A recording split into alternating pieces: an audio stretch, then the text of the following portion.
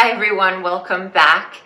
Today's video is going to be about sunscreens. I'm going to sort of talk about the evolution of sunscreens and what I would call the three generations of sunscreens, and then go into a little bit more depth about the current or third generation, which I like to call a medical grade sunscreen, and what you can look for and expect to be able to find in a sunscreen. So if this is something that interests you, uh, please feel free to subscribe, uh, give me a thumbs up, like this video, and if you like, you can hit the notification bell so that you are notified every time I post a new video.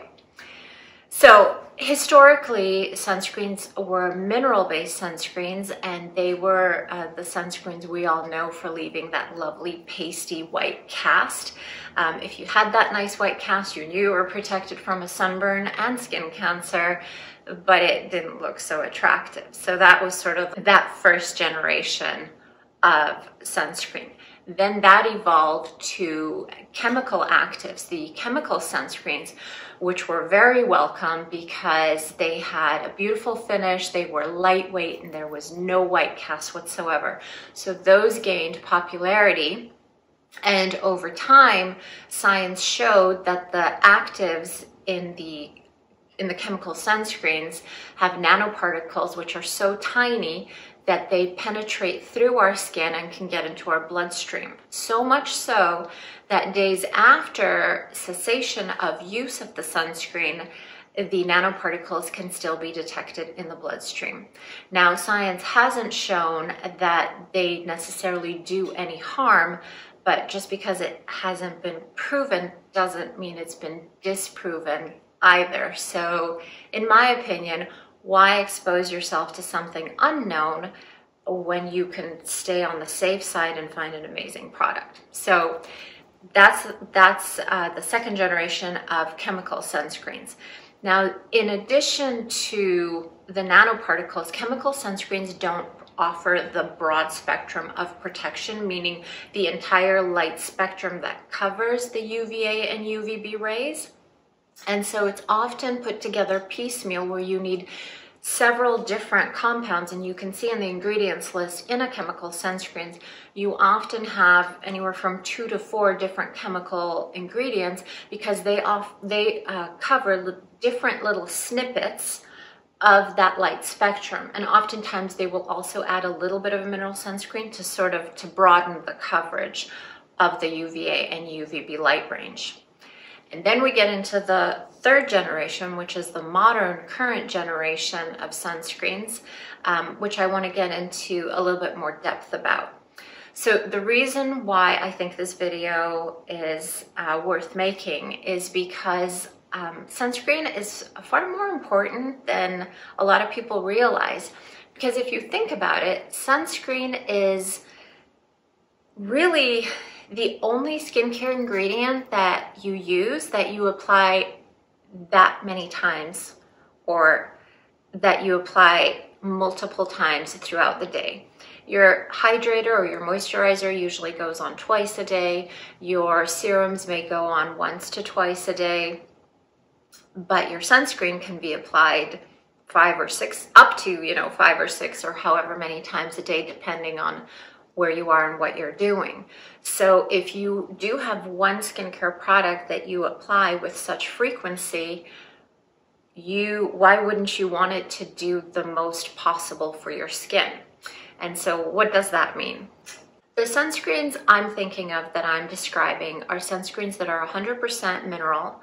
They have no nanoparticles. So for me, that's the starting point. What you can expect to find in a high quality modern sunscreen is excellent UVA and UVB protection, and I'll get into that in a little bit uh, protection from pollution, so basically protection from free radicals, protection from high energy blue light, which we primarily get uh, from the sun, solar uh, high energy blue light, but also from our devices, our screens, tablets, computer screens, things like that.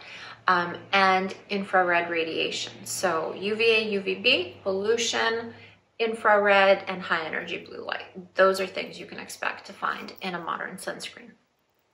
So with UVB, uh, that's pretty simple. Um, the minerals that are used are um, zinc oxide and titanium dioxide.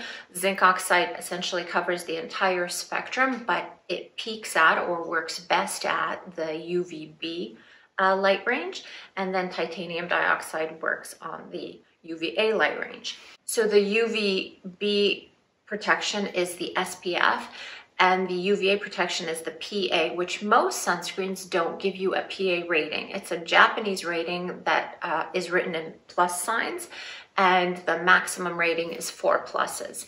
And generally, sunscreens have two pluses, and if they're really good, they have three pluses.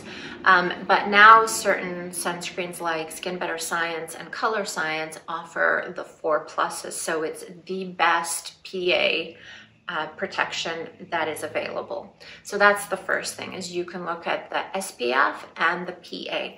The second thing is pollution. So what that essentially means is free radicals and that translates into antioxidants. So it's sort of the same reason why you would put on an antioxidant serum or a vitamin C serum in the morning or in the evening.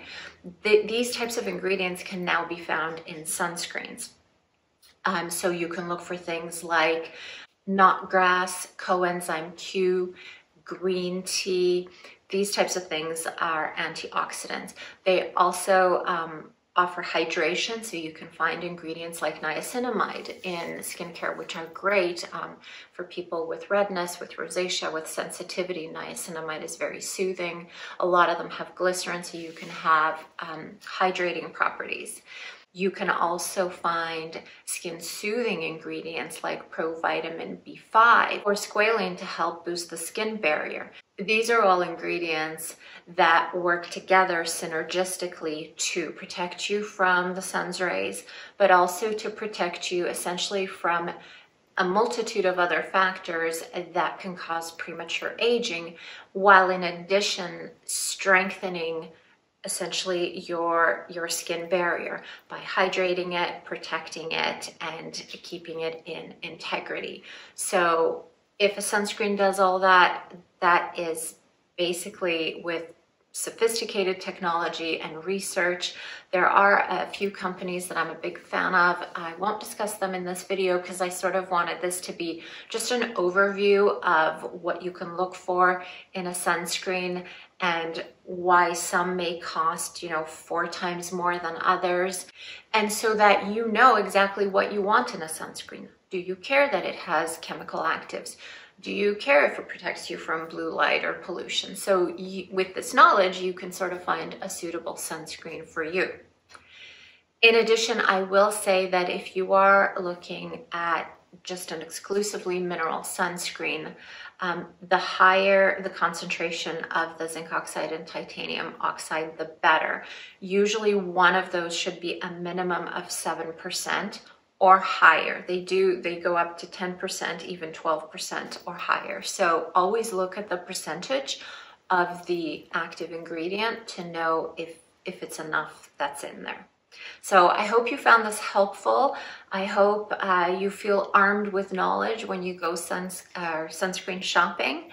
And I will make a few additional videos going specifically into different brands and explaining what they offer in their sunscreens. So those will be my, my favorite sunscreens. So I'll see you next time. Bye, take care. Today I'm gonna be talking about the Skin Better Science sunscreens. So if you're interested in learning more about Skin Better Science or the differences between the sunscreens, keep on watching.